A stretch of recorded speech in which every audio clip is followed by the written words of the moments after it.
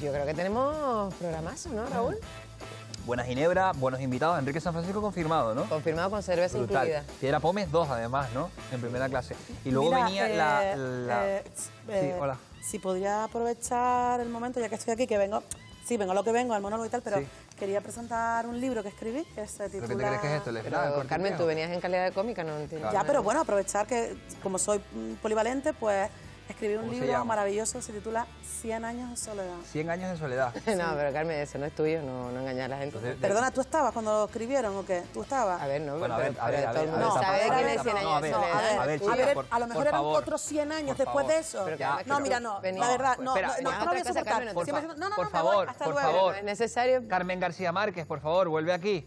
Yo creo que antes de que, antes de que empecemos la tendremos de, Yo creo que esto se ¿no? puede solucionar. Carmen. Carmen, que de verdad, no. Carmen. Ven, que puedes perdió la cadenita con el Cristo del Nazareno que tú me regalaste, Carmen. Trae el libro. Carmen. Ríete.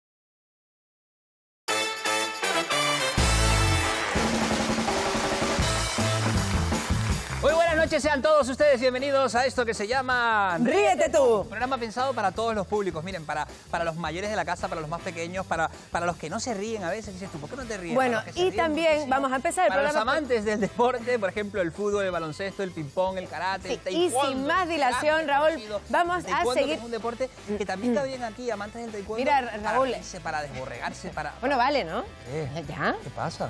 Vamos a seguir, vamos a empezar el programa. Tiene que ser un programa inclusivo donde todo el mundo que esté en casa diga, ah, mira, me nombraron, voy a hacer el programa. Yo que tengo, que tengo el azúcar alto, pues lo voy a ver, porque Bueno, me me nombrado. parece bien, me parece bien que quieras hacer un programa así, pero para eso dice, pues vamos a hacer un programa para todo el mundo y con eso tienes. No, pero eso sería como muy banal, ¿no? Es verdad que soy hombre, soy un poco banal, pero quería hacerlo como más técnico.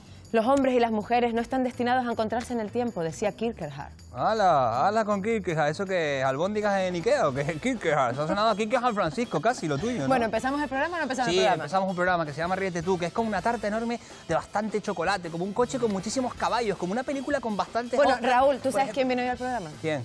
Hablan- hablando de Kierkegaard, San Francisco, tenemos esta noche a Enrique San Francisco. ¡Eh! Sí, no solamente Enrique San Francisco va a estar, que sería un gustazo estar con él una y mil noches, sino que también Piedra Pómez va a estar hoy aquí. ¡Oh! Y también estará con nosotros Carmen Cabeza. Señoras y señores, se avecina un buen programa, así que comenzamos.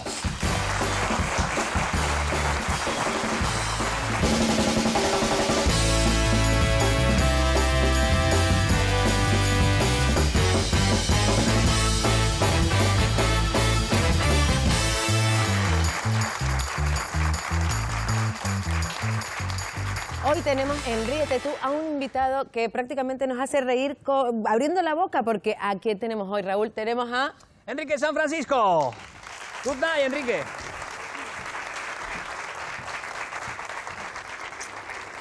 Un placer. Bienvenido, toma asiento, Gracias. Enrique. Welcome. Muy amable. To this night. ¿Cómo estás, Enrique? Pues francamente bien. Francamente, tengo un Sí. miedo cuando la gente dice francamente y luego lo otro puede ser un palo. Bienvenido Bueno, a nuestra... No, no, pero no te voy a contar nada de eso.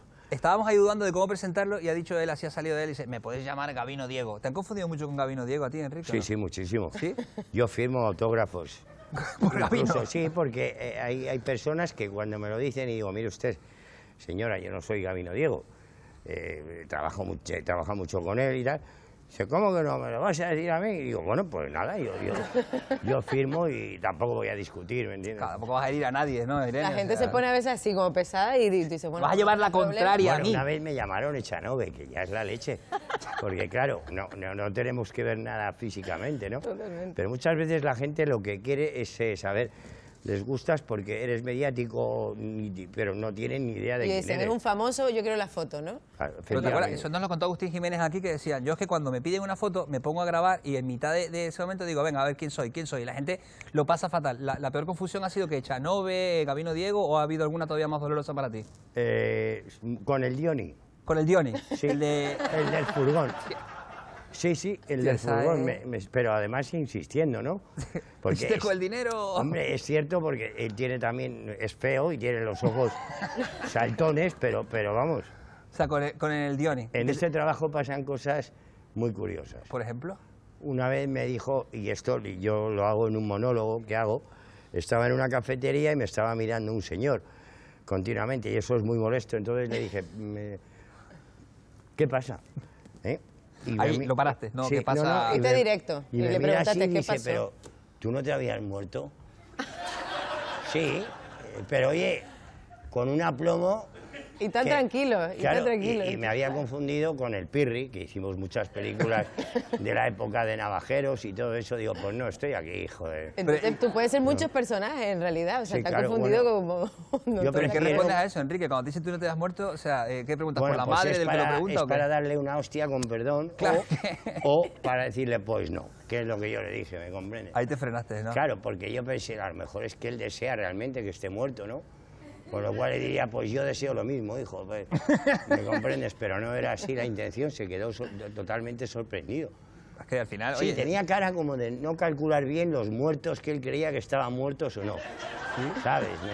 Me, me imagino que tendría más de uno dentro del cajón. que ¿no? le vi en la esquela, le vi en la esquela un día y juraría que era usted, tal, perdóneme, pero es que era Me quedo con tu sé, cara. se quedó delirando y dijo, estoy viendo muertos de Sí, repente, sí, ¿no? Y se claro. quedaría Hombre, si yo soy él y veo eso, digo, yo me voy de este bar, no, no quiero ¿Qué tal el ambiente? Va, estaba lleno de muertos aquella, Sí, aquella no había mucho, mucho tal. Oye, es curioso, Irene, porque tiene una info, Irene, que tiene que ver con la Mili Sí, y Enrique sí, San sí. Francisco. Enri- ¿no? Hiciste la, la mili aquí en Canarias, ¿no? En Gran Canaria, concretamente. Sí, ¿puede yo la hice aquí, estuve eh, en, Te- en Tenerife primero, en el CIR tres meses, ¿En dónde? ¿En Olla Fría? en Ollafría. ¿Sí? Sí, y luego estuve en Las Palmas, en la isleta, y luego en Fuerteventura. O sea, que Ah, o sea, que fuiste de gira por todas las islas. Y luego he venido mucho, sobre todo al hierro. Co- Sí, eres Para muy mí. amante del hierro, es lo que tengo entendido, ¿no? Sí, que te, te apasiona mucho. Sí, porque además yo, yo fui allí porque ahí es donde se hacía parapente. Sí. El- Se sigue haciendo además, Se sigue frontera, haciendo. sí. Se hacía el campeonato del mundo, pero se mató un chaval y, lo, y ya no se volvió a hacer más. Pero, Bueno, o es sea, verdad que sí sigue yendo mucha gente, es verdad, y matizamos ahí en la info, que es que eh, es el lugar perfecto por, por el desnivel, es por, por la comodidad, es Es verdad que, que lo busca Porque mucha gente. ¿tú haces ¿no? parapente también? ¿Hacías parapente? O sea, Yo o- hago parapente, incluso me gustan los deportes de, de riesgo a, a tope, sí, Llevo sí, con sí. mujeres toda mi vida. o sea, imagínate cómo no voy a hacer parapente. Eso te iba a preguntar yo, ¿cu- ¿cuán, cuán riesgo? Pero me mola que Enrique esté contando esto en la tele ahora porque dirá, ¿cuánta gente estará en casa diciendo, ahora es que me van a creer todo lo que llevo diciendo yo, que ese hizo la mili conmigo? Porque te habrá pasado un montón de veces no, aquí no, de, mucha ¿te gente acuerdas que- que... en el destacamento, que, Sí, eso que hablan ustedes? Me han mandado fotos y todo, incluso gente que yo no me acordaba, porque estaba en otra compañía. Sí. Ellos sí se han acordado de mí porque, porque luego pues me he hecho famoso por mi trabajo, pero yo de ellos no me acordaba, de los que estaban en mi compañía, de todos. ¿Y te Eh, tatuaste algo aquí, yo que sé, amor de madre en Canarias, alguna cosa de esta que se hacía en la No, mili, no, yo no me tatué, no. Eh. Porque tenía intenciones de hacer cosas malas. Y entonces eso no es bueno porque es una huella dactilar. Claro, tiene un tatuaje aquí que dice amor de madre con H. Amor de, búsquenlo, amor de madre con H y los ojos muy saltones. Bueno, sí, Gabino Diego, Gabino Diego se Gabino llama. Diego, yo digo, "So- soy Gabino Diego que me he quitado el tatuaje con una plancha y, y ya está. Es difícil con, con- con Enrique, entiendo Enrique que te habrá pasado muchas veces eso de, de que la gente te mire y, y crea que todo lo que diga va de risa. Porque antes de empezar aquí a, a recibirlo, dice, necesito mojar la boca. Estaba tomando y la gente aplaudía y se reía contigo. ¿Te pasa muy habi- habitualmente eso de que cualquier cosa que hagas provoca risa a tu, a tu alrededor? Bueno, eh, hay muchas cosas que hago que en vez de provocar risa, pues me regañan habitualmente. Por ejemplo, Pero en casa, en casa, eso en casa. en casa. ¿De qué te crees? ¿Que estás delante del público y todo lo que haces es una gracieta Sí, o no, Enrique? de no. verdad. No, Porque no. tú has hecho humor con temas muy delicados, incluso con el desahucio, ¿verdad? O sea, to- tocas temas Sí, que sí, dice, ¿dónde está el límite ahí? Ahora de estoy cuando- con lo de los desahucios y, y el, perfil de cada vecino, ¿no? Eh, eh, está muy bien ese monólogo. No lo cuento todo exactamente porque yo he sido desahuciado, entre otras cosas. He pasado por tres desahucios. O sea, que pa- pasas por una vivencia que Sí, lo sí, pasas a través del humor Hombre, claro. para poder... eh, Yo, yo los, los monólogos que hago, los, eh, generalmente me inspiro en la realidad, ¿no? Es cuestión de exagerarla, Mm. pero lo que es la realidad es tan absurda a veces, o puede ser tan cruel, o a veces tan divertida, ¿no? Pero espérate, estamos contando con tanta tranquilidad lo de sufrir tres desahucios. Dime qué pasa por tu cabeza con, con el primero, con el segundo o incluso con el Que te tercero. acostumbras. Sí. Nada, no hay problema. Y al final gusta, embalado, no dice, pues venga, yo Tú quiero sa- otro. Tú sabes que la vas a cagar, que ha llegado un momento en que ya no puedes dejar, tienes que pagar, que pagar, y, y no pagas. Y entonces negocias con la persona y le dices, oye, te pagué, por ejemplo, la otra vez seis meses por adelantado, ahora dame cuartel y déjame que esté tres, cuatro y tal, pues hay muchos que dicen que no. ¿Y eso es fruto de, de- de una mala cabeza o, o- o de una profesión que a veces te lo da todo y a veces te, te cuesta mucho para, Bueno, para llegar? Es una profesión económicamente desastrosa, porque en mi caso yo tengo mucha suerte y afortunadamente me va muy bien de trabajo, pero la gente lo pasa muy mal. Quiero decirte que de pronto te levantas por la mañana, no tenías nada y tienes un montón de trabajo. De pronto no tienes trabajo y te llaman para una cosa y te llaman siete veces a la vez. Hmm. Y de pronto pues estar a- estás a lo mejor seis meses sin trabajar, cosa que a mí nada, no me ha pasado. Y eso es lo que agradezco, pero es una profesión en ese aspecto muy inestable. Tú tenías fama de ser eh, muy, muy juerguista, pero dice que así que como que con la noche te has ido quitando un poquito de, de salir, ¿pero por qué? ¿Porque ya no vale no, la no, pena la noche salir? yo no me o- he quitado la noche. Cuidado, ¿eh? No, no, la vejez me ha ido quitando La de la vejez te ha ido quitando, es Claro, diferente. efectivamente, O claro. sea, Enrique quiere estar ahí, pero no, Sí, hay no, uno ya que... Te apetecen otras cosas. Sobre todo cuando has tenido una juventud donde has estado en los 80 y no es que yo saliera, es que no entraba. Claro. ¿Me comprendes? Entonces uno ya está harto de todo en ese aspecto y pasas a otra etapa de tu vida, ¿no? Yo Que estoy es en lo- casa lo con una bonito. Joan, Enrique, por ejemplo, ese tu padre, que, que ya hablaremos ahora un poquito, porque antes de empezar en la entrevista le, le pregunté por las motos, que también me gustan a mí, y todos saben, o yo creo que la mayoría lo sabe, que sufriste un accidente de estos, del que se ha hablado con la moto, que todavía te sigue... No, no, esto me ha jodido eh, para siempre, te quiero decir, que son lesiones que ya... es Que van contigo, claro, es la Se van contigo, las puedes más o menos controlar y eso, pero son fuertes, ¿no? Me iban a quitar la pierna, de hecho, entonces eh, te deja unas limitaciones terribles. Además, un accidente de moto estando parado. Parado, Que es sí, la sensación sí. más dura de ver cómo algo viene hacia ti y nada lo puede evitar Nada, y, y en nada. pocos segundos cambia tu vida, ¿no? Totalmente, en, en tres segundos. Lo que pasa es que aquí llega la parte esta en la que todos pueden decir, ¿qué hace? O sea, Enrique todavía hoy sigue utilizando moto. O sea, ¿eso no te Sí, frenó? te- tengo una cojonuda ahora. ¿Cuál tiene? Ahora tengo una Triumph, una Truston. ¿De qué motor? Eh, esta tiene 950. Está bien. Las está otras bien. eran de 1200, así me gustan grandes. ¿Te gusta todo grande, todo. Grande todo, exactamente no. No. El grande todo, exactamente no. Depende. Y incluso estuviste becado en el Actor Studio, pero ¿qué vi. pasó con, con la... Cuéntame la anécdota de la naranja, eso de Ah, sí, siéntete sí. una naranja. Sí, sí, ¿Cómo- sí, cómo me dijo el tío, me puso de rodillas ahí en, en un espacio que es como, un es como una especie de plaza de toros, en el Actor Studios. Era muy difícil tener esa beca, la habíamos conseguido, Mm. de cada país cogían a dos actores. Sí, porque es una escuela donde estudió Marlon Brando, Paul Paul Newman, es sí. una escuela de, de mucho nombre. Exacto. Bueno, pues, pues, eh, el chico que salió a darme la clase, yo tampoco estaba en un estado muy para tocarme los cojones. ¿A qué te perdón. refieres? ¿A, Pues- qué, a qué estado? Eh, estaba pasando un estado de drogadicción en ese momento, Ajá. que tampoco es muy adecuado para ir a trabajar y segundo para compartir tu tiempo con las personas, ¿no? Pero bueno, eso es una etapa que afortunadamente en mi vida pasó y que bueno, eh, la superas o no. Si no la superas, pues ya sabes dónde vas. A que te digan en los bares que si estabas muerto.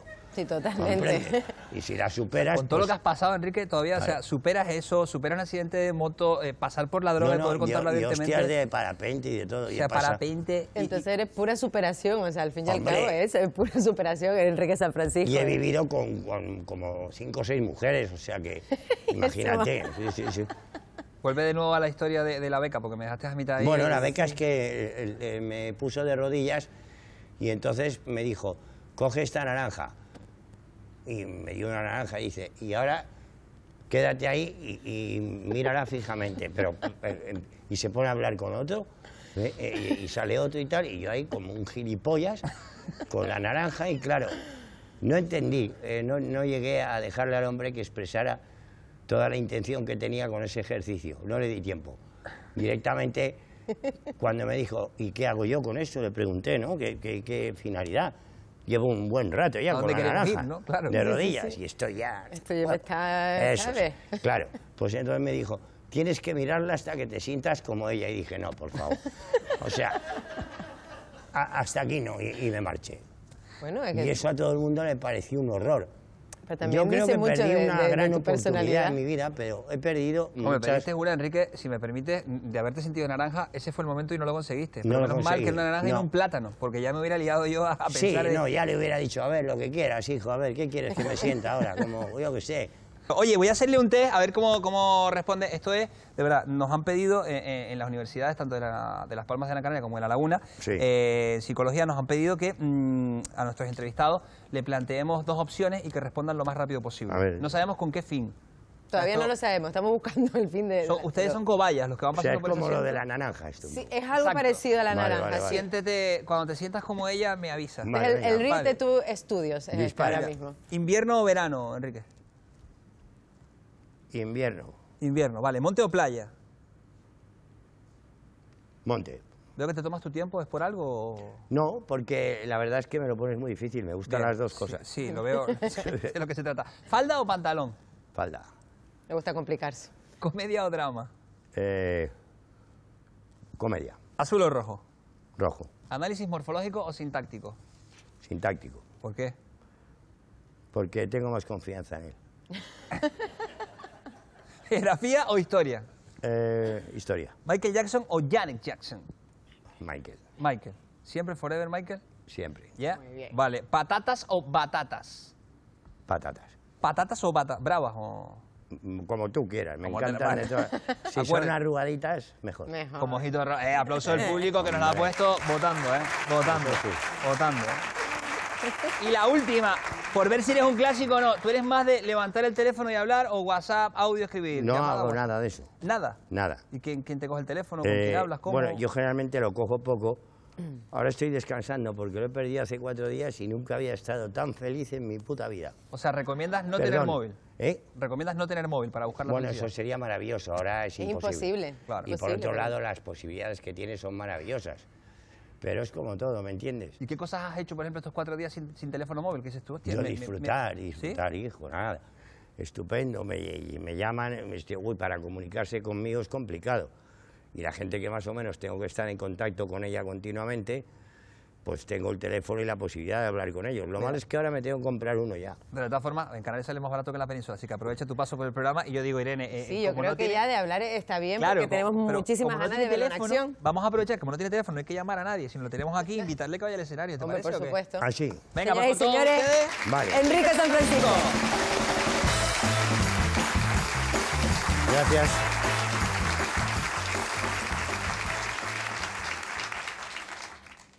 He tenido una experiencia terrible. He ido otra vez de compras con mi mujer. Eh, y si hay algo que un hombre y una mujer no pueden hacer juntos, es ir de compras. No. Yo porque no lo aguanto. Y ella porque dice que yo la estreso. Gracias. Que yo Joder. Que, yo la estreso. De, de entrada te engaña. Te dice, cariño, no vamos a tardar nada. Te tiras seis putas horas de compras. Luego, oye, luego te asustan. Vas con ella por la calle principal y de repente, abducción. Dices, coño, pero ¿dónde está la hija de puta de mi mujer? Y miras a un lado, miras a otro, ha desaparecido, oye. Y cuando la encuentras, está como Spiderman, pegada, pegada a un escaparate, ¿me entiendes? Los hombres somos diferentes. Nos interesan las cosas prácticas, las útiles, pues las realmente indispensables, un cigüeñal, un- una caja de herramientas con 73 tipos de destornilladores. Pero y una vez me paré a mirar una ferretería y ella me dijo, Enrique, ¿qué miras? te paras en unos sitios más raros y es que no nos entienden. Porque las mujeres van de compras y los hombres vamos a comprar. Y no es lo mismo. Ella te dice, tengo, tengo seis horas para las 337 tiendas de este centro comercial. Y tengo que verlas todas. Y dice que yo las tres, vamos a ver, una mujer puede estar toda una tarde, yo lo he vivido, ¿eh? sabiendo de antemano que no va a comprar nada. Nada. E- ella entra en la tienda y dice, ay, quiero probarme este, ese y aquel. Y ya por el camino a mí me va mandando mensajitos, me dice, ay, Enrique, pues este me está un poco corto de arriba, este me va a hacer gorda. La, la dependienta, que es igual de mala que ella, claro, ¿me entiendes? Se huele la tostada y pone cara de odio. Pues ella se prueba toda la tienda, lo deja todo hecho una mierda. Y cuando bajamos a la calle me dice, Enrique, yo nunca compro en este sitio por los bordes que son las dependientas. No me jodas. Un hombre... Mira, un- hombre, un hombre jamás hace eso. Tú en cuanto te pruebas tres cosas, hoy es que te sientes hasta culpable. ¿eh? Y el dependiente lo sabe y se aprovecha de ti. Yo le digo, mire usted, a mí, le- francamente, la chaqueta me encanta, pero yo creo que le estaría bien a Chicote. ¿eh? Y, y dice, ah, que se la ve grande. Y dice, no, no, esta es su talla, ¿eh? Usted es que es muy ancho de hombros, se nota que hace pesas. Digo, ¿quién? Yo, digo, pero vamos a ver.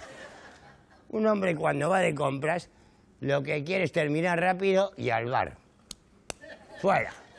Entra en una zapatería, dime unos zapatos, color negro, número 42. A tomar por el culo. Ya está. Oye, fíjate.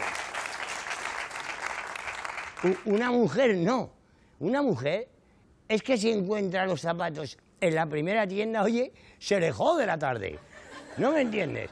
Porque ella disfruta buscando. Entra en éxtasis. Dice que quiere un zapato tacón cu- cubano rojo, pero no muy rojo, que tenga reflejos anaranjados. Coño, ponte a buscar eso, por Dios. ¿eh?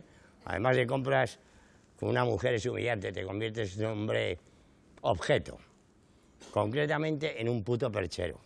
¿eh? Horas en la puerta del probador, sosteniéndole el bolso, dos bragas, tres combinaciones. Ella, ella se asoma y te dice, oye, di- dile que te dé una tallita más. Pero, pero eso no es lo malo de ir de compras. Lo malo es saber que estás rodeado de mujeres en pelotas. ¿eh? De las que solo te separa una cortina minúscula que se mueve, oye, de una manera pues inquietante. Claro, y si estás con ella, ¿a dónde miro yo para no parecer un guarro? ¿Eh? Joder, al suelo no, ¿me entiendes? A la dependiente, hostia, ni se te ocurra. Pues nada, te haces el aburrido. Que está Angelina Jolie ahí en pelotas en la camina al lado, a mí me da igual, cariño. Si a mí lo que me pone es el fluorescente del techo, ¿no me comprendes?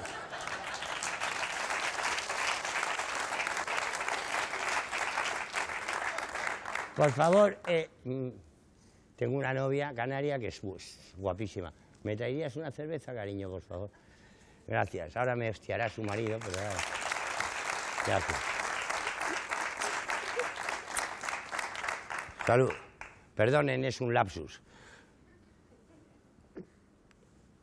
Yo cuando hago los monólogos en el teatro estoy loco porque me aplaudan.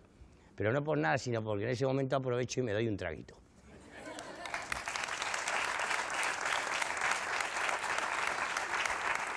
Viniendo para aquí he estado pensando y he llegado a la conclusión de que el cuerpo humano está mal pensado.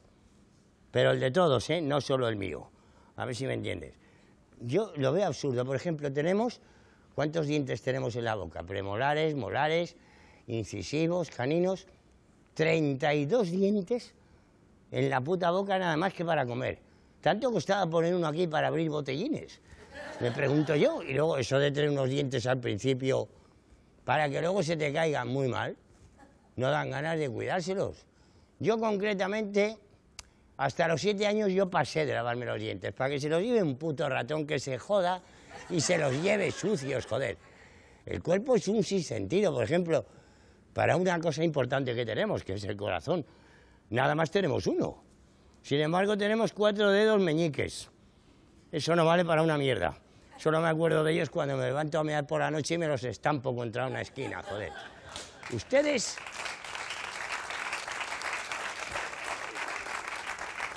Si quieren no aplaudan porque ya no tengo cerveza. Usted- Ustedes saben cada cuánto tiempo le viene la regla a una cierva. No me pregunten por qué lo sé. ¿eh? Pero, se- una sola vez al año. Sin embargo, para las humanas eso es terrible. Los médicos dicen que viene cada 28 días, que es mentira, viene cada vez que te vas de vacaciones, ¿no me comprendes? Y ahora que lo pienso yo también, yo creo que en el caso del hombre, ¿no? que es la chapuza de Dios, por otro lado, los huevos, eh, con perdón, deberían ir pegados aquí a la entrepierna con un velcro. Así dependiendo de la actividad que tú vayas a realizar, coño, pues te los cambias de sitio, ¿no me entiendes? Que me voy a montar en bici, me los quito de aquí, me los pongo en la cabeza y el casco por encima. Esto de, esto de los huevos me ha llevado a mí a acordarme de una vez que una novia me llevó a una playa nudista. Bueno, se supone que, claro, cuando tú vas la primera vez a una playa nudista, pues lo coño lo haces emocionado, ¿no? No era mi caso, pero bueno, emocionado, ¿no? Y te, crees que vas a ver, pues no sé, el jardín del Edén, ¿no? Y lo, y lo que te encuentras es el Museo del Jamón. Pero, pero qué cuerpos, ¿eh? Qué cuerpos. Qué cuerpos, pero qué asco, oye, de verdad, ¿eh? Dicen, dicen los católicos que Dios hizo al hombre a su imagen y semejanza. Pues me van a perdonar, pero Dios yo creo que tenía un problema gordo de varices, joder. No, lo más increíble de todo es que ellos se comportan, coño, pues, pues como todo si fuera normal, ¿no? Yo, yo he llegado a ver a dos hombres en pelotas, jugando a las palas. ¿Eh? Un momento. Hombres, hombres adultos.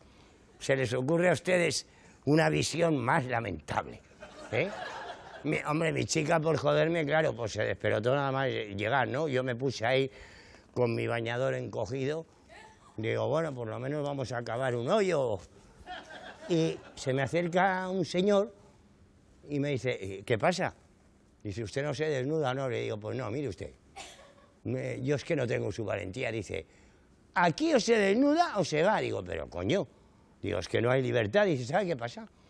Que hay muchos que solo vienen aquí para ver coños o pollas. ¿Qué le parece? Digo, hombre, pues que son los más normalitos del lugar. ¿Sabe usted cómo le digo? Claro. Eh, en ese momento ya mi novia se cabrea y me dice, Enrique, vete donde siempre al chiringuito. Digo, hoy no. Ni de coña. ¿Eh? ¿Qué conversaciones voy a tener yo ahí? Que me venga un tío y me diga, caballero, bonitas tetas. La- las de su mujer, ¿eh? Digo, hombre, muchas gracias. Le diría, la suya tiene un coño notable. Claro, después, después, después de ver tantas miserias, pues uno no aguanta más, ¿no? Ya me acerqué a un señor entrado en años y carnes como yo, que estaba en pelotas y le dije, tápese usted, por favor. Le dije, haga el favor, digo, tenga piedad. ¿eh? Dice, a, a usted lo que le pasa es que tiene un problema con el cuerpo. ¿eh? Digo, no, no, no. Yo tengo un problema con su cuerpo. Claro. Y, oye, y alguno pensará, Enrique, si tanto te jode ver a los tíos en pelotas, pues no mires. Eso es imposible.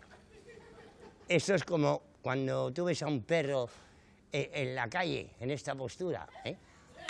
Tú, tú sabes que de ahí no va a salir nada bueno. Pero tienes que verlo porque el horror te hipnotiza. Pues esto es lo mismo. Hombres desnudos, qué patético. Mujeres desnudas, se puede soportar. Pero los hombres no. Y no es una cuestión de gustos o de orientación sexual. Yo creo que el cuerpo de una mujer es muchísimo, muchísimo más bonito que el de un hombre.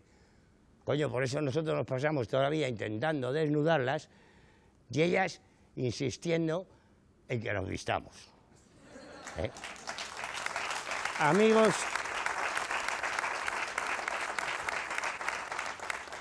caballeros, amigos de la sala, si no me creen, hagan la prueba esta noche, cuando lleguen a su casa. Cuando esté su esposa en el cuarto, entren en pelota sin avisar. Y observen la reacción, ¿eh? Hay dos estilos. Las que les da la risa y las que les da vergüenza y te dicen, pero te quieres tapar, asqueroso. Deja de hacer el ridículo. Claro. Y- y-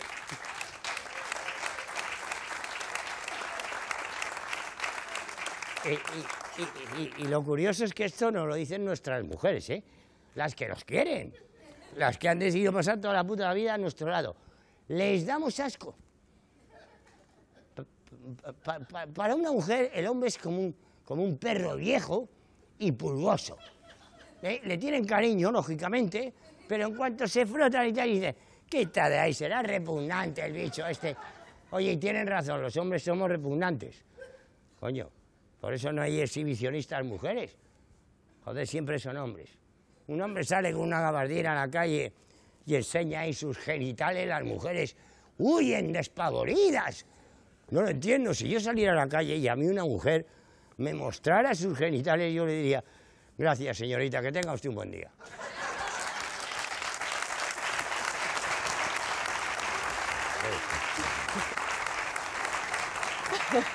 Es un grande Enrique San Francisco. Enorme. Por cierto, que no se va, que va a estar todo el programa con nosotros aquí, como todos nuestros invitados, ¿no? Pero Raúl, la que se va soy yo. ¿Sí? Sí, porque en el sillón me están esperando dos pedazos de talentos maravillosos. Ellos son Piedra Pome. Sí, señora, vamos a estar con ellas en pocos segundos. ¿eh?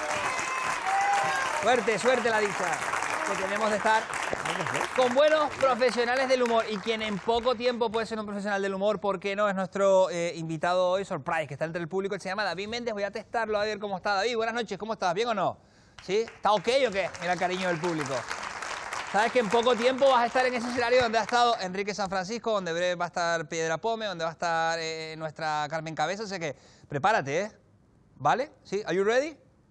Me encanta un ready con un ok. Irene, ¿lo viste, no? Ready, ¿eh? Pues muchas gracias, Raúl. Sí, y aquí estamos con nuestros segundos invitados. Ellos son Gregorio Figuera, Francisco Santana. A lo mejor no les suenan estos nombres, pero ellos son Piedra Pome.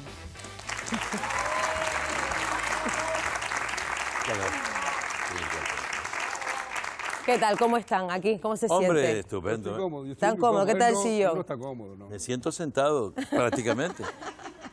Eh, muy bien, muy a gusto y además en, un programa de humor que lo que hace es eh, Eh, después pues están los de sí. las elecciones Sí, y tal, pues- esos Y son después peores. eso es otro tema, ¿no? Claro, aquí venimos a hablar somos- de, de No, no, pero esto risa. hay que tomárselo en serio. Esto hay que tomárselo en serio. El que hay que tomarse en El serio. humor. Ah, el humor, por supuesto. Siempre, eso lo dicen todos los cómicos. El humor hay que tomárselo en serio. Y con, ¿Y y ustedes? con algo frío en la boca. Ustedes llevan, eh, se conocen desde hace mucho tiempo en el Colegio Mayor en San Fernando. Ustedes se vieron cómo fue ese encuentro. De Desde muy repente, atrás, desde- En, los en libros. San Fernando, no que fue en la laguna, ¿eh? En el, pero en el Colegio No, Mayor. hombre, el Colegio en el Mayor San pequeño, en Fernando. el vas un ratito caminando y otro andando. Sí. Y, Y esto va a ser así todo el rato. Así aplauden, aplauden. no, porque no, a no, no. Sí, hombre, nos conocimos los ¿Cómo dos. fue ese flechazo entre los dos? ¿Qué fue, qué fue lo que Bueno, yo ocurrió? llegué al colegio mayor Yo, antes yo, que... yo, yo, flechazo no fue. Yo, yo- Más bien fue un golpe que te diste en la puerta al entrar. con un sa, fue un sa, con un sacho, con un sacho. Fue un sachazo. Fue un sachazo, era un sachazo, pero les llegó directo al Él corazón. estaba, estamos hablando del año, eh, del año 72. Sí, yo no me acuerdo porque yo era muy joven cuando eso. Yo estaba en el colegio mayor y él, aunque es mayor que yo, no estaba en el colegio. Estaba en el yo en le el hice menor. novatadas a Gregorio. Ah. Eh, sí, le dice, no sé si te, te dije alguna que, que me adoraras o algo, porque yo los ponía, los también los poníamos a que nos adoraran los. Hombre, yo varios que no- le dije que sí, que yo, si hay donar, donar, sí, pero Y la relación... Y me quiso meter en el horno. y la dije, relación fue "¿Me vas todo el rato adorar?". así. por, con la, por la escama, por la escama capaz. La relación fue muy simpática desde que nos conocimos. Fue un flechazo humorístico, eso sí es cierto. Hmm. Eh, y nada, eh, estuvimos en el colegio dos años y luego yo me fui a Barcelona a acabar mi especialidad y a estudiar teatro y tal. Y luego Gregorio se quedó en la laguna porque no tenía muy dinero, la familia era muy pobre. Yo era pobre, yo era Muy pobre. pobre. Y lo- tú lo adoraste de- de mucho, pero no cintura te para llegó. abajo, tú siempre de no, cintura sigue para abajo has siendo sido muy pobre. No, no, no, no, no, no. Justamente, Ustedes cuando es carnavales, ¿qué hacen? Cambian un poco el chip y dicen, mira, llevamos todo el día peluca, no estamos todo el día disfrazados, en carnavales voy a salir normal. me he visto de hombre, me he visto de hombre. Directamente. La gente asombrada. No, Claro. pero en carnaval hay que ahora en serio, porque él no puede hablar en serio, No, porque lo tiene una cosa que se lo impide, eh, la, la neurona no le permite hablar en serio. El- en carnaval, nosotros no, yo no, yo en carnaval no me disfrazo casi nunca. Me gusta me gusta el vacilón, que las máscaras vacilen conmigo para yo averiguar quiénes son. Sobre todo en la época en que las máscaras eran más, más Era, eran Ahora no. máscaras. Ahora son- Ahora, ahora no, son porque más baratas. son ¿Qué, más qué caras. les pasa ahora? Ahora Yo para intentar venir. entrar en el juego de palabras, ¿sabes? Una reina, una reina de carnaval de esa que tiene que sacar la ITV, el permiso de conducir. ¿Tú sabes con ese aparato qué tal? Hasta yo me hago republicana. Con la galleta. Ya no hay re- reina, pero no hay presidenta de la República del Carnaval. sota o sota. O sota. Y yo veo que inventa que van sobre la marcha improvisando cosas, porque vamos, no me han dejado hacer ni una pregunta de, de guion. hazla, boba. pero no, no la pienso hacer, no la tiene- pienso lo hacer. Ustedes fácil, hacen, eso, yo lo tengo súper fácil, fácil. solo seguirle. Eh, es todo así cuando ustedes hacen la- el- en el escenario, se suben al escenario, estos son todos sketches. Eh, ¿Son sketches que están cerrados? ¿Hay parte de improvisación? ¿Todo lo improvisan? Tú lo has dicho, tú lo has dicho. Lo que Todo la lo gana. improvisamos a veces. A veces hay parte. Nosotros ponemos, eh, tenemos un guion madre. eh, Vamos a hablar, qué sé yo, de la primera comunión de mi sobrino. Mm, que Siempre hablamos de tu sobrino, siempre hablamos de tu sobrino, siempre hablamos de tu sobrino, siempre hablamos de tu sobrino. Mira, esto ya es una, una discusión de matrimonio aquí. Y entonces hacemos esto, empezamos, hay un guion, tengo que decir tal, tal, tal, tal, que no, sé, que no quería hacer la primera comunión porque se declaró eh, objetor de la primera comunión. Objeto. Y el obispado lo que hizo es comulgar, porque claro, cuando un niño comulga y después excomulga, Sí. Cuando ya no quiere.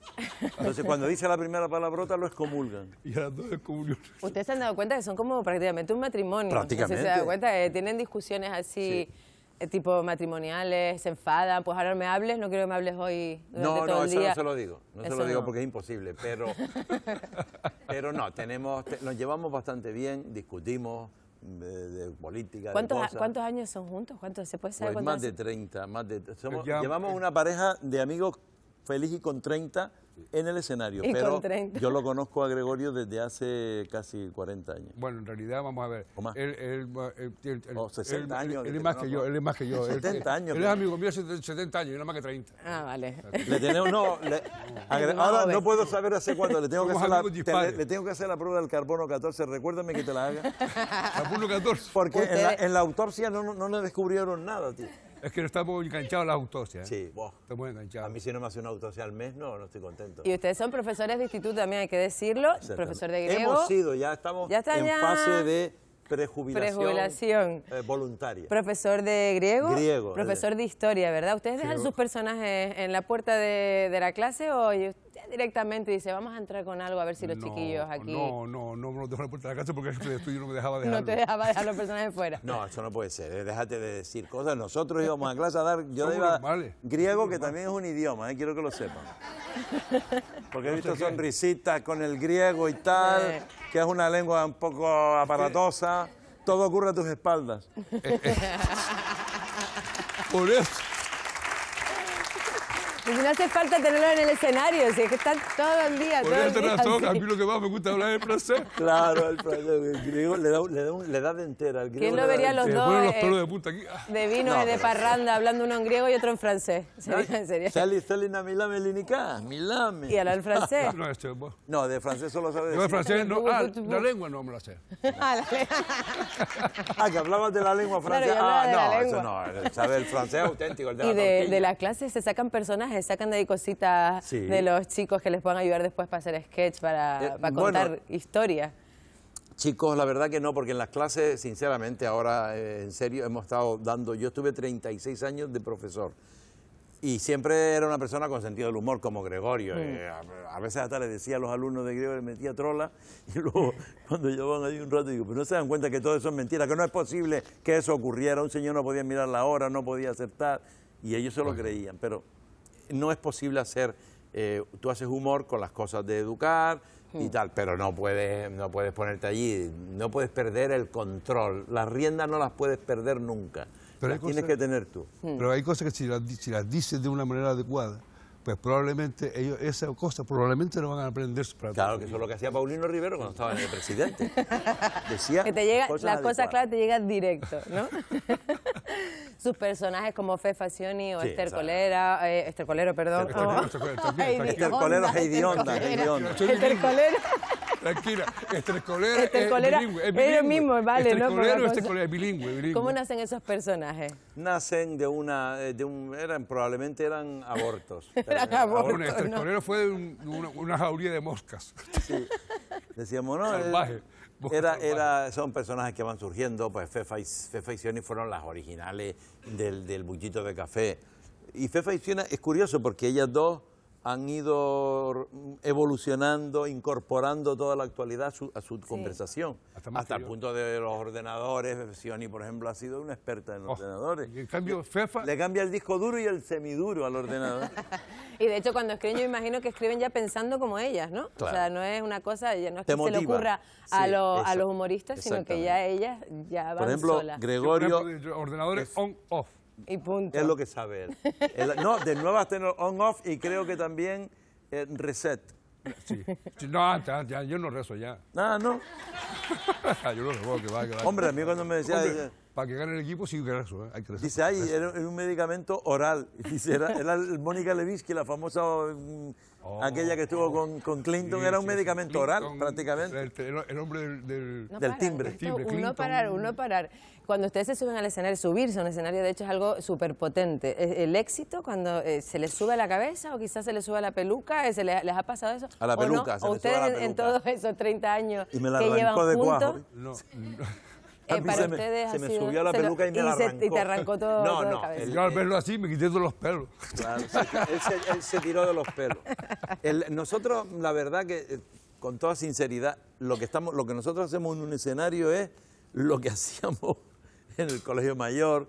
Cuando estuvimos en el Colegio Mayor San Fernando, yo recuerdo, Jerónimo Saavedra, eh, que fue presidente del gobierno, era profesor del Colegio Mayor, y estábamos todos allí, nos sentábamos, era, él vivía en el Colegio Mayor, fue director.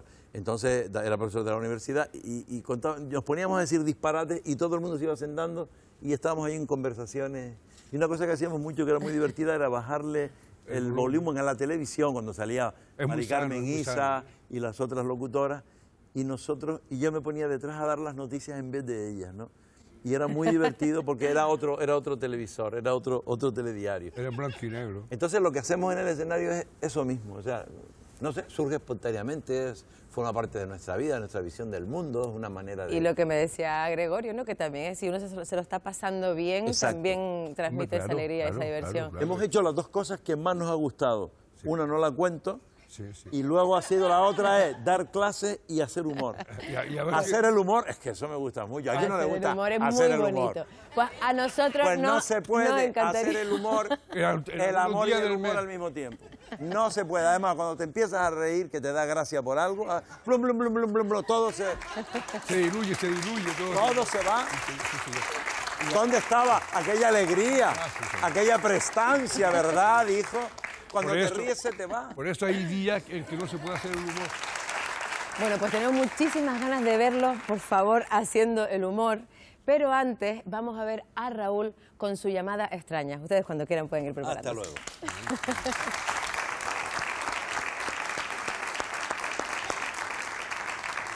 Gracias, compi. Oye, y atentos todos, Enrique, échame una mano, porque tenemos una sección aquí que se llama, pues eso, al teléfono, al aparato, y, y la gente llama, no sé, pues, pues, pues pidiendo que no se rían de ellos. Es como un momento de, de, de, por favor, tened paciencia conmigo. ¿Me echas una mano o no? Venga. Venga, pues vamos con ello.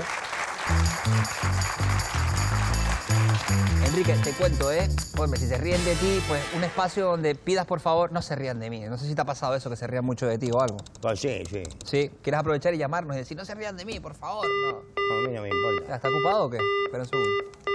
O sea, llama- llaman a la tele, llaman a la tele y ahora están ocupados. ¿Qué están? Eh, a lo mejor están contigo en el hormiguero a ver si les da a Pablo Motos no sé cuántos millones de euros. Que A lo- agüita... A lo mejor, a lo mejor se están riendo en este momento de él otra vez. Bueno, puede ser eso. Mira. Te he llamado por teléfono. ¿No quieres que me ría de ti? Pues toma, a tu casa te voy a Pues llamar. venga.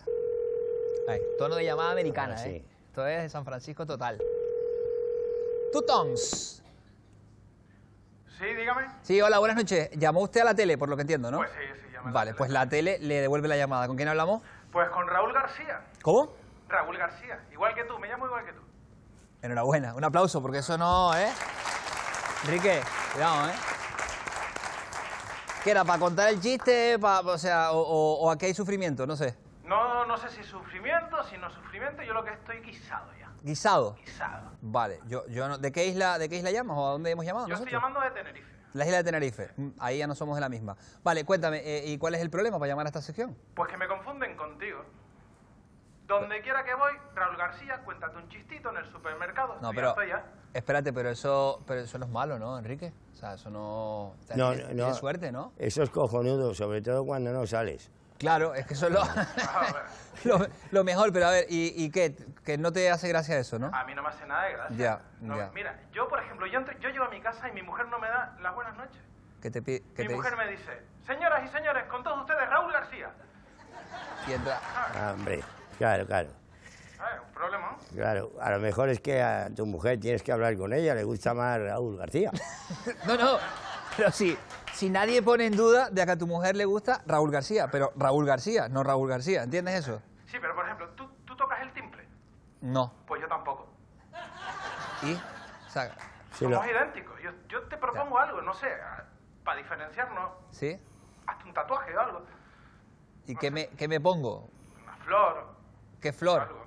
Una rosa, Una rosa es una rosa, de como diría Mecano. ¿Una rosa? algo, algo. Mira, Yo, yo por- tú trabajas en la televisión y en la radio, ¿no? Y, ¿Vale? Sí, donde se pueda, Yo, sí. yo miro mi cuenta bancaria y está exactamente igual.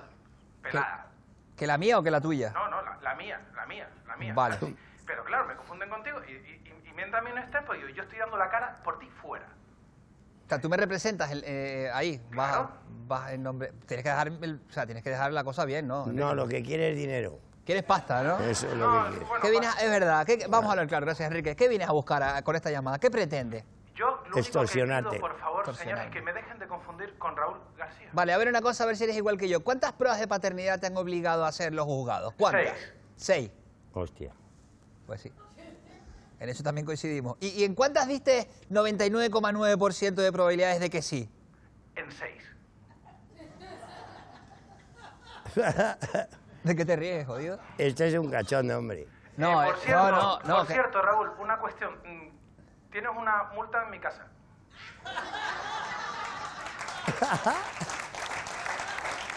Maldito. Maldito representante. Cómprate un Ferrari, cómprate un Ferrari que te va a encantar, que te va a encantar. Venga, multa, de verdad. Eh, o sea, eh, ¿no será con la moto de Enrique San Francisco? No, no, no. no. No, no, la del Ferrari hecho- otra vez, ¿no? De hecho, eh, ¿tú tienes carne de moto? Sí. Pues yo también. Vale, ¿hay algo que tú no tengas y yo tenga o algo que yo no tenga y tú tengas y quisieras favor, tener? favor. Normalmente lo que tú tienes lo tengo yo y lo que yo no tengo tú no lo tienes. Es una cuestión normal, o sea, somos iguales. Además es igual de enterado que yo, el mismo, Enrique. ¿eh? Tiene ese Sí, punto de, sí. de, de- de verdad, de Se ve que es un chico muy sencillo. Sí, en eso sí es verdad que no nos parecemos. Vale, entonces, el- no me queda claro. El objetivo es tú decir en la tele que tienes el mismo nombre y apellidos que, no, el que yo. objetivo es que, eh, sinceramente, yo creo que no podemos ser los dos iguales. Bueno, pues fácil. Vamos O a sea, cambiar que el nombre. sobra uno. Claro, aquí sobra uno. Sobra uno y el que sobra, obviamente, eres tú. Vale. Tú Claro. sobras. Has visto, ¿eh? Es negociador. ¿eh? Sí, sí, ya ves, Tiene un talante, tiene, tiene un... Oye, vamos a llegar a un acuerdo y todo lo demás. O sea, es como el del bar que conoció a Enrique San Francisco, de que tú no estás muerto todavía o que me estás pidiendo eso, la muerte o no. Sí, a ver si haces el favor, sí. Dilo ya, claro. Lo, lo que te pido es una, que nos diferenciemos. Yo que sé, un tatuaje, no sé, amor de madre con H. algo- Coño, pues que se lo haga él, joder. Claro, eh, perdona, que tengo a mi colega aquí, Enrique San Francisco, diciendo, háztelo tú. Pero ¿por qué me lo tengo que hacer yo si yo estoy sufriendo el hecho de parecerme a ti? ¿Pero qué tanto sufrimiento ni qué tanto sufrimiento? Que alguna cosa te habrá salido bien. Dime una Bueno, cosa, sí, dime una cosa. bueno, una- bueno, dime, una cosa. cuéntame algo. Hombre, me voy a los restaurantes y tengo mesa siempre. Vale, pues bien. ¿Y a, que, ¿Y a que has ido a un hotelito de eso y te ha tocado la planta 1 o 2 y de repente con el nombre y apellido te han puesto arriba en el penthouse? Sí, me dejan Eh. guardar el coche en el garaje. Eh, entonces, Pues venga, que- a quejarse, a quejarse a otra cadena que aquí no es lugar. Un abrazo, Raúl García, encantado de conocerte, Ah, ¿eh? un placer. Venga, hasta luego, un aplauso para ese. Qué, qué sufrimiento. Al aparato. Ríete tú con esta llamada, Raúl, qué disparate. Bueno, pues ahora sí, están en el escenario, nos están esperando y van a entrar en acción. Piedra Pómez. Ay, ay, yo, yo quiero antes que nada pedir perdón al público por este espectáculo. Porque este es un espectáculo pochornoso, ¿sabes? Pero completamente pochornoso, porque acabo todo pocho de tanto estar. Pero yo me vuelvo una persona este, por, ay, por Dios, por Dios, por Dios, por Dios. Por... Ay, por diosera. Oye, antes era ateo. Ay, Fefa, vamos a ver, Fefa. Yo- Mm, Yo digo, Fefa me dice, ustedes saben que Fefa la pobre, yo les- lo único que les pido es que no se estén riendo, por favor, delante de ella. Ni se estén riendo de ella. Si alguno sabe francés, me puede decir fefoi. Fefa, yo- ella me dijo que iba a tomar un bullito de café, pero yo veo que aquí bullito de café no hay. Y, y tú te, te- me dijiste, no, porque yo te, me encargo de ponerte todo. La máquina de 3D, la máquina de 3D no funciona. ¿Ah, no? Una máquina de 3D. Bueno, en 3D, en 3D lo que había en 3D era, mi madre tenía una alpargata negra. Tu madre negra. Mi madre no era como hace negra, mi madre. Mi madre era de, Tú, dijiste, mi madre mi tiene una madre era de raza cobriza. para cobrar. Pues estaba todo el día cobrando. Mm, La alpargata en aquella época, dicen, yo me enteré luego porque lo busqué en el diccionario de la Acacale, que es la Academia Canaria de la Lengua, Acacale.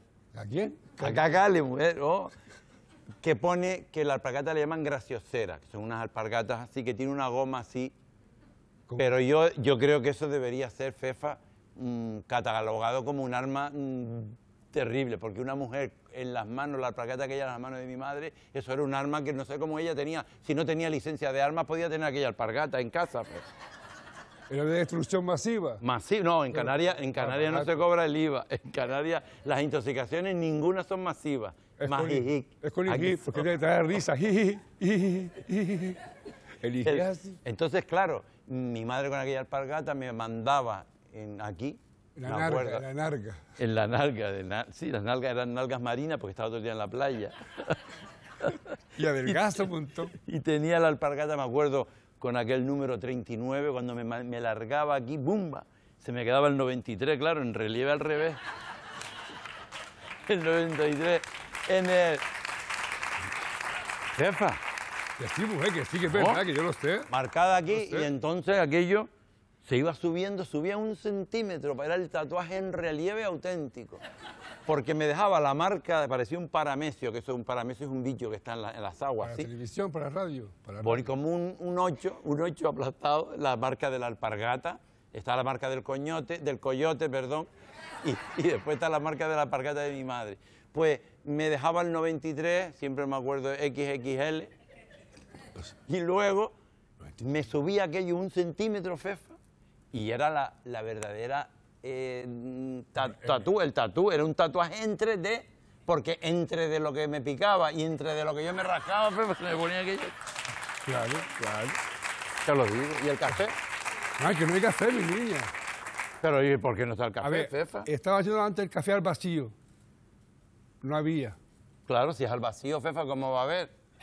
Desde luego. Ahora, ahora también sale café eh, plantado al vacío también. Pero mira, ahora no quiero yo meterme mucho, Fefa, porque mi sobrino, mi sobrino se metió en política. Saben que ahora con todos los jaleos de las elecciones que hay entre que si uno y otro, en fin, unos se presentan, otros ganan, otros. Mi sobrino, que Poca es gente Roberto, elecciones. Poca gente gana las elecciones. Poca gente gana las elecciones. Muy poca ¿Las gente elecciones? ¿Cuántas? ¿De qué estás hablando? ¿De las elecciones, con él. Ah, con no, él. no las elecciones, eso, eso lo hagan muy pocos, muy pocos tienen en su momento las elecciones cuando tienen que tenerlas. Pero mi, mi hijo, mi sobrino Bobby, Roberto, lo- lo que pasa que él es- el apellido es Lin, él se llama Bobby Lin, le decimos Bobby Lin. Ah, Mira, hasta, hasta el cuñado de Marilyn. Marilyn sí, y Chulín, el que estaba con Ángela Chani en Falcon Crest. Pero mire, mi sobrino Bobilín eh, se presentó a un partido que hizo un partido nuevo aquí en Canarias, que es el Coponazo. El Coponazo es Coalición Popular Nacionalista Socialista. Ha cogido a todos los, los que se han ido, a todos los tránsfugas de todos los partidos. Sí, sí, sí. Y dice, no se vayan, Sí, vengan o conmigo. sea, reciclando, reciclando. Claro, reciclando. porque mi- bueno, y entonces él, ha creado, estaba trabajando en el gobierno de Canarias y ha creado el Servicio Secreto Canario, el CSECA. El CSECA, no, ustedes se ríen, jajaja. Igual porque- ustedes son también del Servicio Secreto Canario, porque es secreto. ¿Ustedes han oído hablar alguna vez del Servicio Secreto Canario? No, ¿por qué? Porque es bueno, un servicio secreto como Dios Y manda. los, ag- los agentes, los agentes no lo saben tampoco. Claro. Lo bueno, pero mi, nadie. mi sobrino Bobilín, porque Bobilín, el padre también era otro Bobilín como él. Bobby Lee. Toda la familia ya han sido Lee. Bobilines. Y mi sobrina Heidi Honda.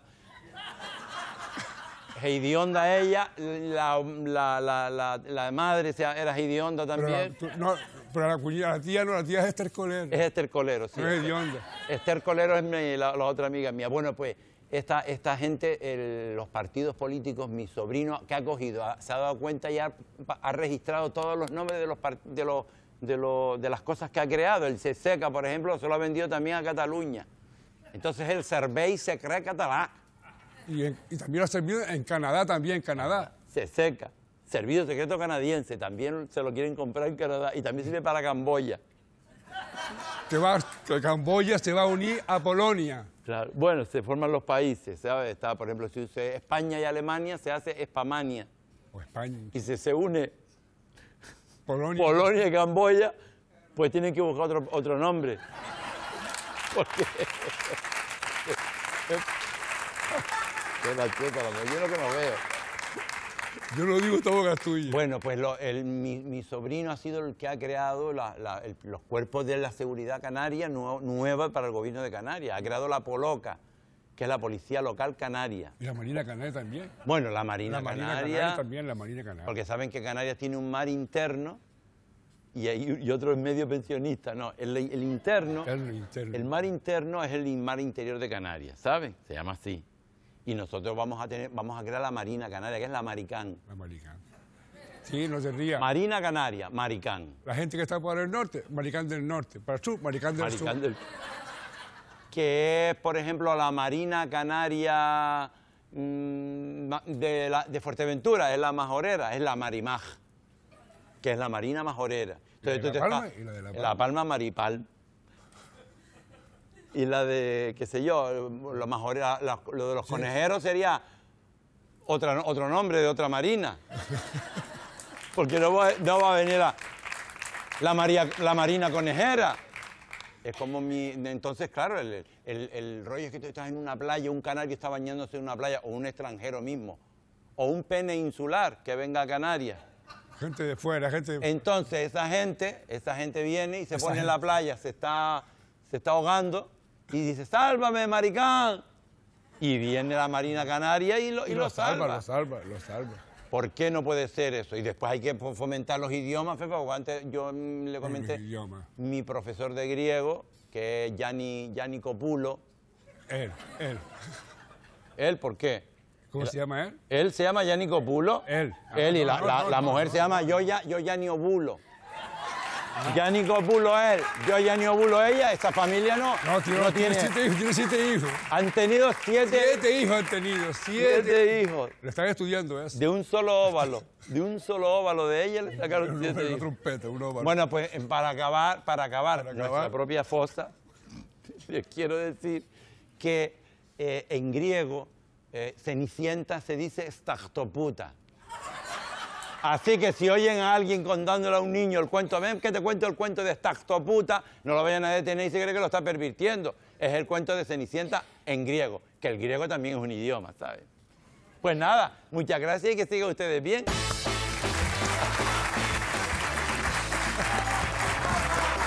Gracias, bonito.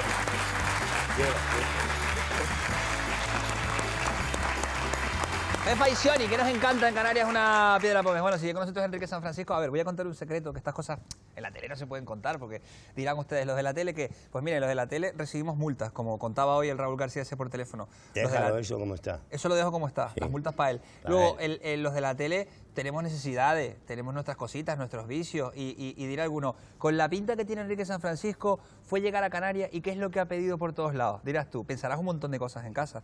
Todo lo que no es. Todo lo malo, ¿no? Dirán. Es que, claro, cualquier cosa que pida Enrique San Francisco puede ser Horroroso, delito. Horroroso. Horroroso. Pero, ojo al capricho que yo digo, que no, puede, no no puede te ser rías, es que es verdad, joder. no, no, pero es que es verdad, o sea, y me lleva todo el rato. Además, así, mira a ver si puedes pedirme lo que te he pedido antes y tal. Digo, pero es que los que me traen a mí el material no te conocen a ti y no saben Claro. cómo es tu gusto y todo lo demás. Que sea de primera y Que sea de primera, tal. Y yo, pero Enrique, pero es que a lo mejor lo que para ti es de primera, aquí no es de primera. Y hemos coincidido. ¿Saben lo que ha pedido en el transcurso de este programa? Y yo tengo aquí debajo para dárselo con todo el cariño del mundo. Atentos, señoras y señores, porque quería, desde que llegó, desde que empezó la noche, un bocadillo de pata canaria. Es lo que pedía Enrique San Francisco. O sea, es que, a ver una cosa, voy a jugar un poco con esto. Es de verdad, esto no es mentira. Y te Eso digo, me traslada a mí al ejército y todo. te digo una cosa, es que ni, ni- ni Pablo Moto, en- con su hormiguero y su historia, te ha traído esto, tío. Pablo Pero- Montos está régimen a partir de hoy. Es que Venga. eso ya nada. Se acabó. Bueno, para que vean que es verdad, se lo entrego. El, el aplauso del público. Disfruta de él. Ábrelo a ver Joder. para que veas que es verdad, Enrique, por favor. Mira, mira. Gracias. Enséñalo, enséñalo. enséñalo. No me, no me aplaudáis que no os voy a dar, ¿eh? Oh, Pruébalo, pruébalo, quiero que lo pruebes. Para que veas que es de verdad. Que esto no es televisión de mentira, ni es plástico, ni nada. mm, me voy. Se va. Señoras y señores, un gustazo haber tenido esta noche con nosotros a Enrique San Francisco. Todo para ti, ¿no? Bueno, si quieres un trozo te doy. No, pero no, ¿quieres irte al camerino? ¿Que quieres disfrutar del camerino, en la soledad No, del me voy a camerino? encerrar en el hotel. ¿Sí? Venga, pues marcha por ese lado. Enrique, un gustazo haberte tenido por aquí. El gran Enrique San Francisco. Gracias, maestro. Vete con tu público. Y nosotros, Muchas gracias. qué grande Enrique, ¿eh? Ha venido aquí, se porta como mi hijo, o sea, le das la merienda, la cena, el bocadillo y es todo un encanto. Oye, tengo el enorme placer también de ponerme de pie para recibir con todos ustedes a esta, de la no- a esta hora de la noche a Carmen Cabeza. Ven a mí, ven a mí, ven a mí, ven a mí. Hola, Carmen. Good night. Good night. Toma asiento. Lo ¿Sabes? tomo. Toma asiento, to- todo tuyo el, el asiento. Oye, eh, Enrique San Francisco, lo, lo- lo tuviste ahí, fíjate tú Lo los tuve- caprichos. mira que él había dicho que le gustaban las cosas grandes y yo digo, es mi momento, pero no, Voy a no llegué. no Yo llegué. creo que él dijo, es que esta es la de los monólogos de la comida y todo esto. Si me traéis el bocata este de pata, pues fíjate tú, qué humilde es alguien que, que quiere... Aquí además pidió- estaba un poquito desesperado, que lo veía, ¿eh? El Bocadillo bocadillo. de pata. se lo diste a oler, lo guardaste ahí, estaba... Claro, es vamos. que había un olorcito que a pata, ya sabemos Yo estaba a ver ustedes si cómo- trincaba el bocadillo antes que él también, pero no... Oye, Carmen, Carmen Cabeza, eh, de todo, o sea, actriz, humorista, profesora, eh, además canaria, que me encanta a mí decirlo de canaria, todo un gustazo y además tienes tus adeptos, ¿no, Carmen? Adeptos. Adeptos y adeptas, ¿no? Pues sí, más adeptas que adeptos, ¿eh? ¿Sí? Sí, todo hay que decirlo. ¿Eres más de gustar a, la- a las mujeres que a los hombres? Sí, sobre todo a las mujeres entraditas en carne, las ¿Sí? gorditas, sí, porque tengo, empecé con un monólogo que se titula Soy gorda y qué, y ahí empezó la gente como a ir a ver de qué va esto, se ríe de mí, ¿no? y claro, se siente identificada, o sea, que tengo bastante... Y después tengo otro que es Soy feminista y qué, o sea, ¿entiendes ahora por lo de ¿El y qué? las adeptas? No, lo de qué, no, lo, Lo de las qué. adeptas más que... Claro, porque de- además eres reivindicativa, o sea, eres la que vas marcando el camino, dirán, anda, pues como yo, pues vamos a ir a verla y todo lo demás. O sea, ya estás en un punto en el que se puede vivir de, de la comedia o, o lo, del, lo del profe también hay que tenerlo ahí por si acaso con Bueno, las paguitas mira, dobles te podría decir, contestar con una frase de, un, de Sifo, de Antonio Sifo, director de teatro, Ajá. que él siempre dice, se puede comer, pero no se puede cenar de la comedia. O sea, él se refiere al teatro. Pero gracias, no sé a qué, al universo, mm, tengo, soy profesora también. Sí. Y ahora mismo, pues, no, no tengo que estar pensando si puedo vivir de la comedia. Hubo una época en que viví de eso, directamente. Me hacía bolos aquí, allí, me hacía tres bolos en una noche. Pero bueno, ahora estoy como más tranquila y no lo tengo que pensar. No me lo hagas pensar otra vez. Tres bolos en una noche, suena a, Sí, sí, sí. uf, suena a la Guamampi eh, en el Médano, en, en Adeje y de repente a ¿Sabes Gran el Canaria. típico mm, stripper que, ¿sabes? Que así cuadrado, que le llega la cuca aquí al- a la rodilla, que se hace, que además... No sé, qué, no sé a qué te refieres porque me lo estás preguntando como si hubiéramos coincidido No, con no, no, pero vez, quiero ¿no? decirte, el, el típico, porque además hay uno, hay El que uno no que, para. cada vez que iba yo a una despedida soltera, estaba él allí después para enseñar la cuca, antes que yo o después que yo. O sea, siempre estaba en medio. Y él se hacía también un montón de bolos y detrás iba yo De todas formas, mm, mm, ¿pero qué es? ¿Para dar, para dar risa también eso, lo de la cuca en, en la Bueno, rodilla? en realidad él iba ¿Cuál es el a, quedar bien, a quedar de, ¿sabes? Enseñar músculos, pero como detrás iba yo a hacer el monólogo, al final era para dar risa. Oye, ¿qué, qué pasa en la facultad, eh, concretamente en Magisterio? Porque mira, me acuerdo, Jesús Farray, profesor, humorista, Piedra Mm. Pómez, hoy aquí, profesores también, como decían ellos, casi prejubilados, tú. O sea, hay Sí, algo, pero el agua... de- Magisterio no tiene que ver con lo mío. ¿No? No, magisterio son maestros. ¿Y tú eres? Y yo soy profesora, igual que. Que me encanta esto, como me van cortando el lote a mí con, todo esto. O sea, los Sí, profes y los maestros. Claro, porque yo tengo una licenciatura. Espérate, que Ah, esto, vale. esto, espérate, espérate. Te lo tengo que decir así. Explícame. Yo tengo una licenciatura. Va, y lo haces con, la boquita así cerrada. Claro, porque no es Claro. lo mismo. O sea, O sea, lo- lo de magisterio es como muy- No, sino que son carreras diferentes. Como si yo te digo a ti, tú eres ingeniero y te digo, oye, tú, que eres matemático. No. Yo doy clase en secundaria, en los talluditos ya que se ponen en plan chulo. En la edad del pavo esa, ¿no? En la edad del pavo total. ¿Y cómo llevas eso tú de ser la profe, la que está en redes sociales, la de vamos a, o sea, porque a ver cómo te pones serie que te respeten ahí? Exacto, antes es cuando, cuando Irene preguntaba a Piedra Pómez, yo decía, uff, para mí es, hay veces que tengo que cortar y decir, Cortar no, el lote, ¿no? Sí, decir, no, ahora no soy la humorista, ahora soy la profe y estoy enfadada, pero normalmente utilizo las dotes humorísticas para llevármelos al Lego a todos y, y poder dar la clase y hacérselas amenas. Y se porta- siempre el, el rollo es, pero ¿cómo se portan tan bien contigo? Digo, si estoy haciendo un monólogo todo el día, Y les lo- estoy haciendo los reír. padres, claro, los padres llegan ahí, hola. No, los padres. que- es, curioso. te siguen, ¿no? Claro, es curioso porque cuando la visita de padres, que siempre, en según en qué instituto estás, nunca, siempre te dicen, mira, tranquila porque al final van a venir cinco. Y en mi clase hay una fila de 20 padres que- porque todos van a ver quién es esa profesora que les hace reír o que está o que eh, yo la he visto en monólogo o que veo su Facebook, me siguen. Al final tengo que tener un cuidado ya en Facebook porque me, me siguen un montón de padres y madres. Entonces tengo que ir Claro, es el referente. ¿Esta es la que le da clase a tu hijo María del Encarnación? Esta es la profe de ella. Mira lo que puso la nota en el... ¡Ah, qué risa! Claro, muy, muy de casa. eso. Oye, esto arrancó, eh, voy, a, voy a questi momenti parlare in italiano, perché tu comenzaste con el Povera donna sola, perduta y abandonata y popoloso de sorto de Apelano Parigi, que fue la primera obra de teatro que hiciste en la Uni. Esa fue la segunda, pero bueno, la Pero ¿qué primera... guionistas tengo aquí yo, colega, que no pego- ver, que no pe- que esa no fue la una? segunda, digamos, como... La primera como protagonista. Vale. La primera era también en la universidad con el grupo de teatro de filología, Ajá. ATF, y hacía de hombre con estas tetas. O sea, era Oh. horrible, no, no era creíble para nada. Y yo decía una Eh, frase... perdona, perdona, que los he visto hasta con más tetas, así que cuidado. los eh. hombres, bueno. Exacto. Pero que no era creíble que yo me llevara a Fabián, ¿no? Era como... No, eso Y no. además tenía una gran frase que era, ya voy, ya voy. Eso era mi texto en la primera obra. ¿Cuántas veces? Ya sí, ya está, era eso. Una vez nada más. Decían, Fabián, y decía, ya voy, ya voy, punto, ya está. La siguiente obra, Te que la es jugaste, esta, ¿eh, Carmen? esta, me la Te la jugué. jugaste, te la jugaste. Esta que acabas de nombrar, ya hacía papel además importante, hacía de la Virgen María. Oh. Imagínate. ¿no? ¿Y la- obra era más larga que el título o al revés? La obra, es que no, yo creo que era larga, era larga porque había dos actos, una en la que hacía de la Virgen María y en el siguiente acto hacía de la Madame de un burdel. ¿Cómo te puedes olvidar de las cosas largas en tu vida? ¿Sabes? Dice, yo creo que era larga. Las cosas No, largas no se porque, olvidan. A ver, Carlita. a mí me gustan más las cosas anchas, ¿Anchas que largas? sí. ¿Sí? Si no me ves a mí, soy más ancha que larga. No, pero no veas tú lo que largas también, Sí, ¿eh? o sea, que eso, también te... La lengua sí la tengo un poquito larga, sí. Sí, has hecho cine, le das también a, a YouTube, o sea, hay algo que no, que digas tú, "Mm, esto no. La Thermomix, por ejemplo, no. No, fíjate, no, no Thermomix soy no. buena cocinera, no. Pero eso Lo va solo, eso va- eso No, no, es que ahí. no me gasto yo mí no sé cuánto en Thermomix Pero si con tres bolos esos tuyos una noche te pillas dos, yo- vas a decirme lo mismo de está forrada. Todo el mundo me decía, está forrada. no voy a preguntártelo, pero Hasta bueno. que saqué una foto con el papel film ese en la cabeza. Digo, sí, estoy forrada. forrada no. ¿Y lo, de, lo, de, lo del cine qué? Para que la gente diga, ah, cine, pero ¿qué? ¿Dónde se puede ver eso? ¿En Netflix o no? Pues mira, eh, gracias a un vídeo que hice que se hizo viral en Espero que no sea con el del stripper aquel, No, o sea, es no, lo único no, que como el pido. de, el de la cuca por la rodilla, no. Vale. No, ¿te acuerdas cuando el challenge? El challenge aquel que se echaban agua Sí. fría por la cabeza. Que era por Pues el ELA, que había que dar dinero, pero la gente se Pues tiraba el agua y no daba el dinero. Yo, claro, yo lo del ELA no lo sabía. Pero yo veía que todo el mundo se tiraba agua y digo, pero ¿por qué no hacen un challenge, pero que, que merezca la pena? Sí. Entonces puse en la cocina de mi casa y dije, hoy, el reto de hoy es fregar la losa. Challenge. eh, sí, ese era ¿Y mi challenge. Y retaba a mi marido y a mi hijo. Entonces, hice un vídeo de 20 segundos, pero 20 segundos. Raúl, después de no sé cuántos años haciendo teatro, monólogo, no sé qué, y empezó a seguirme gente de Alemania, Estados Unidos, México, que todavía me siguen. Y ahí me hice famosa. Bueno, pues ahí me vio un director de casting de, de Tenerife, que bueno, que trabaja también en la península, eh, Diego Betancor, Ajá. y le dijo a mi marido, mi marido es actor también, pero él sí es actor de verdad de película, le dijo, oye, van a venir a hacer una película aquí, La niebla y la doncella, y tu mujer, que la vi en el vídeo aquel y tal, me parece que pegaba un papel. Yo estaba hecho polvo en aquel momento porque la verdad era una época, mi madre estaba, estaba muriendo, estaban paliativos y tal, pero digo, bueno, pues cuando... Es que no- ni me apetecía, pero digo, bueno, voy a probar, que nunca había ido Sí. a un casting de cine ni nada de eso.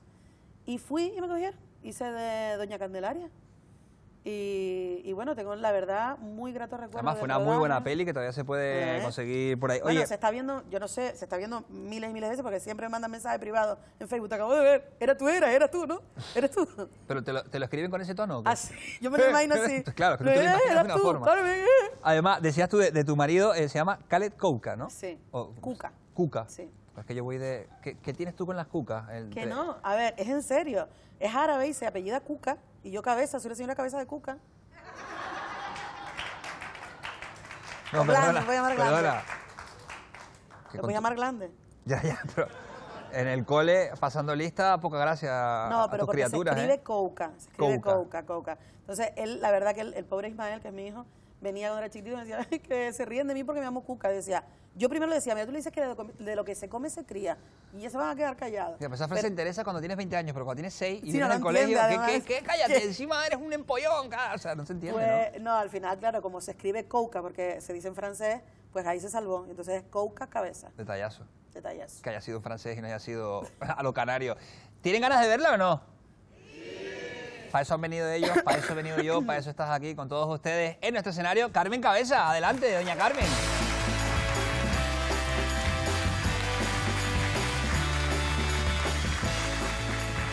Bueno, pues ya, ya me he presentado, ¿no? En la- eh, era eh, parte del monólogo lo que acabo de decir en la silla, pero es verdad. Soy Carmen Cabeza, para quien no me conozca, que siempre hay algún gracioso que de lejos dice, no, pues tiene más tronco que cabeza la tía, ¿no? Pero es mi apellido, me tocó el apellido Cabeza. Y claro, como digo, como le estaba contando a Raúl, eh, el apellido es bastante característico, ¿no? El llamarse Cabeza, apellidarse Cabeza, es bastante ca- característico. Por ejemplo, en el caso de mi hermano, mi hermano Tito, pues se unió a una chica que se apellida de León, y tuvieron un, un hijo y eh, mi sobrino se apellida Cabeza de León. ¿Sabes? Que además queda como, además como un, nombre, él se llama Ulises, queda como nombre de rey medieval, una cosa así potente, ¿no? Pero claro, a mí, ¿qué me pasó? Que me fui a enamorar de un árabe que se apellida Cuca, y entonces desde 1999, desde el 29 de enero de 1999, soy la señora Cabeza de Cuca, y eso es, es así, o sea, no es que... Es eso, es así. A ver, a mí me gustan los monólogos, me gusta hablar de mí, porque yo empecé, como estaba contando, eh, soy profesora, pero claro, desde que, me, desde que yo saqué las oposiciones hasta que me llamó la consejería, y cuando saqué las oposiciones, cuando la primera vez que aprobé, yo estaba súper contenta, porque digo, ya está, ¿sabes? Aprobé, ya está, ya voy para allá, me presenté en la Consejería de Educación, que no sé si ustedes saben lo que es, que es un edificio que está al lado del rastro. No sé qué fue lo primero que pusieron, si el rastro o, el edificio de la consejería, ¿sabes? Para que yo tuviera una idea más o menos, llegué allí y me dijeron, mira, ahora que ya aprobaste tienes que llevarlo todo, tienes que llevar todo lo que tengas en casa, todos los papeles, todos los títulos que tú tengas. Me cogí todos los de Disney porque tenía el niño, era pequeño en aquel momento. mi hijo me llevé todos los, todos los títulos de Disney, todas las cintas de vídeo. Me presenté allí delante de la funcionaria, o la típica funcionaria que no te mira, ¿sabes? Que te, que te así con... Y yo llegué ahí toda contenta, le dije, tía, que aprobé, que aprobé, colega, que ya, ya tengo plaza, ¿no? ¿Dónde me tocó? ¿Dónde me tocó? Mira, me da igual dónde tengo que ir. La Palma, La Gomera, El Hierro, donde sea. Y ella me miró así, con la voz esta que ponen, ¿sabes? Que ponen las de... Así, que tienen como cargo. Bueno, que ponen las que tienen como cargo y la, y la, y la locutora de Televisión Canaria también, ¿no? ¿Sabes? Ese rollo de... Ese rollo de... me- ay, qué pena. Digo, qué pena, ¿por qué? Qué pena, ¿por qué? Si saqué un 8 con 1, tío, en el teórico. Un 8 con 1. Me dice, no, qué pena. Porque es que no nos quedan plazas de tu talla. Total, que al final, pues mira, me tuve que dedicar a otra cosa. Digo, pues, ¿qué hago? Pues me pongo a hacer monólogos. Y efectivamente me puse, empecé a hacer monólogos.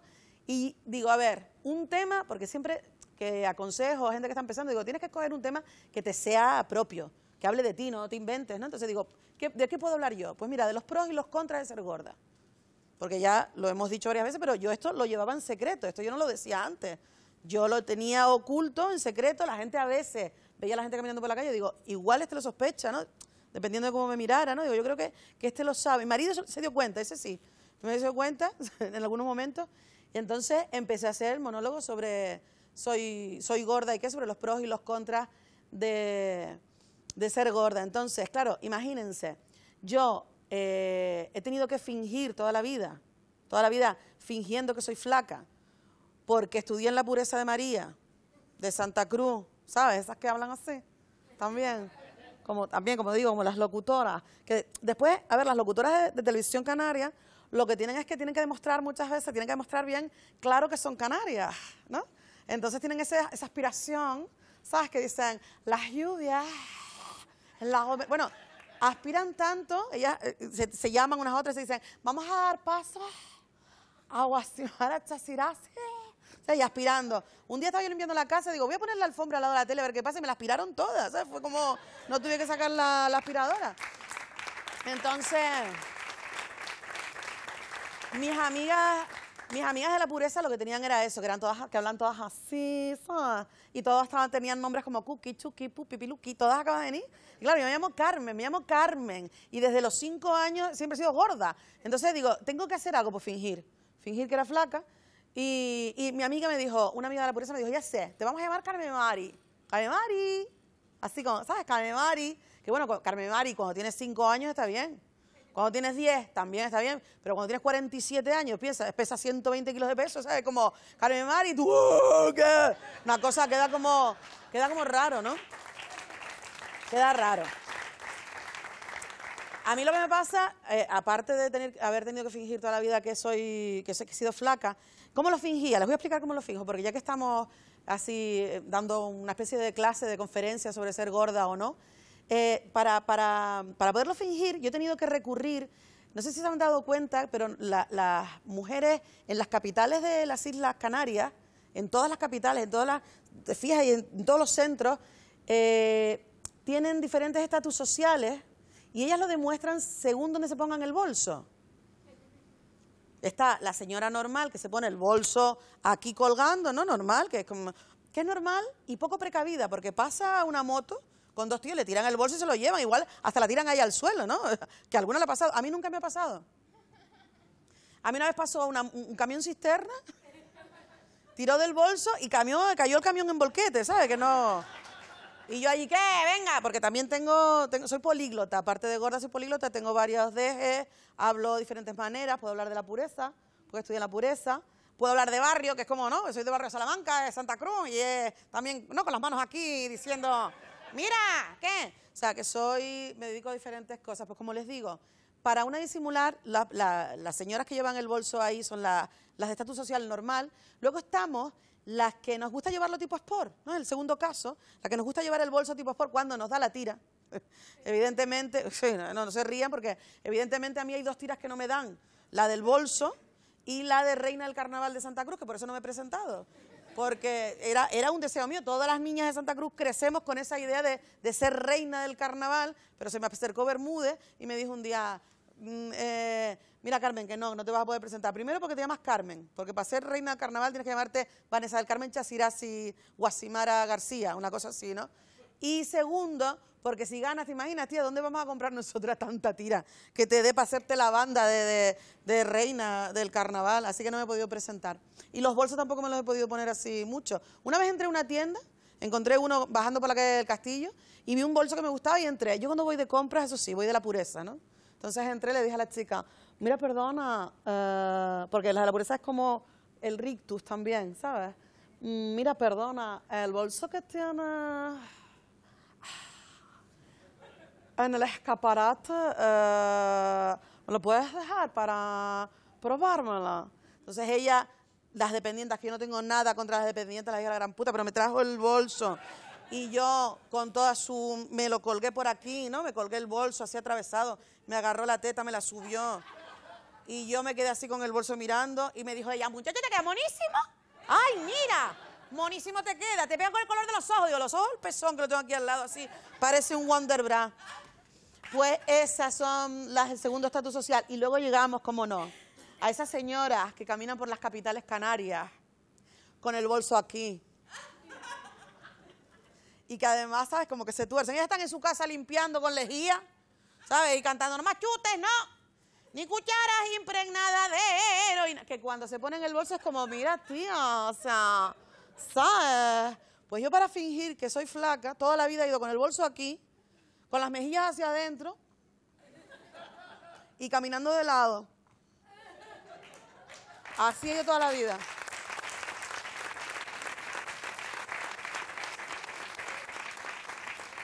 Pero claro, llega un momento en que ya no puedes fingir porque tus amigas te llevan a, a bares donde no te cabe el culo en la silla, ¿sabes? Tienes que disimular y tal. Aparte tengo una ya es madre, yo soy madre. Tengo un chiquillo, pues mira, 17 años me va a cumplir. Eh, está terminando ya el ciclo de Kinky, le falta un módulo nada más. Eh, y me da miedo, me da miedo porque, claro, soy de barrio, como le estoy diciendo, yo vivo- sigo viviendo en mi barrio, ahí en el barrio Salamanca, y me da miedo porque esto- estoy segura que llegará el momento en que mi hijo, cuando ya tenga 18 años, vendrá a mí, yo estaré sentada en mi sillón a juego con mi marido y los cojines, y con mi batita de guatine que seguro que no me cierra, ¿sabes? Pero que la tendré así, viendo la tele, y llegará mi hijo y me dirá, eso que ninguna madre de Santa Cruz culta con estudios, que se pone el bolso aquí, quiere oír. Llegará mi hijo y me dirá, Ma, me metí en una murga. ¿Tú sabes lo que es eso para mí? ¿Eh? ¿Tú sabes, tú sabes lo que, el dolor que me llevo yo? Y entonces, claro, me quedaré allí sentado y me lo imagino, porque si es hijo mío, estoy seguro que llega a ser el director de la murga. ¿eh? Estoy segura, vamos. Eh, eh, Él sale a mí, el director de la murga. Me lo imagino la noche de. El, el final de concurso de murgas de Santa Cruz. Yo sentada con mi marido, juego los cojines, el sillón, la batita guatiné y mi hijo en la gala. Buenas noches, Santa Cruz. Buenas noches. Somos la murga, los triglicéridos altos. Eh, que la- que- no, es que los nombres de las murgas son más difíciles, ¿sabes? Que, que no sé cómo se lo piensan, ¿no? Buenas noches. eh, queremos dedicar nuestra primera canción a nuestra murga infantil, los triglicéridos bajos. Pero antes de empezar, eh, quiero saludar a José, que está... Todos tienen un José arriba, ¿se han dado cuenta? Todas las murgas tienen un José arriba. Yo creo que trabajan en la, en la grúa, ¿no? En la cámara, en los helicópteros, algo. José, para ti, para la viejita. ¿No? Y entonces empieza la canción y ahí sí me puedo quedar tranquila. Porque como profesora de lengua que soy y de literatura, me puedo quedar tranquila porque eh, mi hijo en la murga aprenderá a manejar el determinante posesivo de primera persona, mi, con, vamos, será el mejor porque uh, han oído las canciones de las murgas, ¿no? Todo es mi gente, mi público, mi barrio, mi viejita, mi carnaval, mi Santa Cruz. Buenas noches. No, no puedo decir, sino que.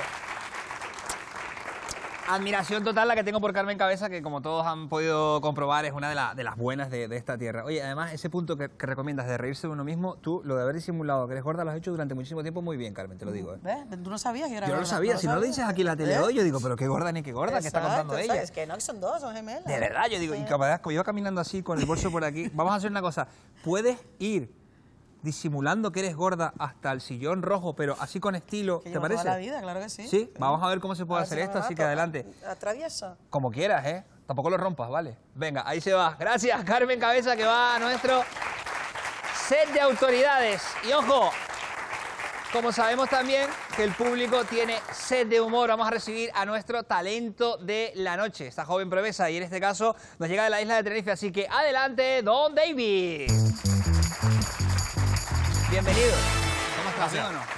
Eh, muy bien, sí, la verdad, muy ojo, orgulloso de estar aquí. Ojo a lo que ha pasado por este escenario, Enrique San Francisco, Carmen Cabeza, Piedra Pómez, y te toca a ti. Sí. ¿Quién eres? Nombre y apellido, como un casting. ¿Cómo te llamas? Muy bien, pues me llamo David Méndez, Sí. ¿vale? Soy de la isla de Tenerife, como ya bien has dicho tú. Sí. Y soy del barrio del Sobradillo. Barrio El Sobradillo, que eso está Exactamente. ahí entre la Laguna, Santa Cruz. Correcto. Sí, más o menos entre la Laguna y Santa Cruz. Es la verdad. sobrada para la gente que vive allí. Me acuerdo un chiste yo muy de Darío, de Darío de Palante Producciones, que decía El Sobradillo, se veía la foto de Cristiano Ronaldo, que era un chiste que hizo él en redes sociales y causó, causó furor. Oye, eh, ¿y qué traes al escenario? Pues vengo con un monólogo que tenía preparado justo ¿Sí? ayer. La verdad que soy un dejado y... Eres un figura. Sí, sí, sí. Te pasa a tuve que aprender. conmigo en matemáticas, lo dejaba todo para el día anterior. ¿Y lo tienes ya todo ensayadito o no? Lo tengo ensayado ya, hombre. Público, estaba antes con ustedes, ahora está en el escenario y para toda Canarias ahí tenemos al gran David. Buenas noches y disfruta, ¿eh?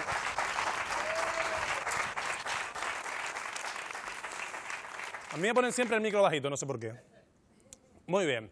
Eh, lo primero, muchas gracias por invitarme, la verdad, en este fantástico, fabuloso, estupendo programa que yo sigo siempre, constantemente, Ríete tú. ¿eh? Y una cosa voy a decir.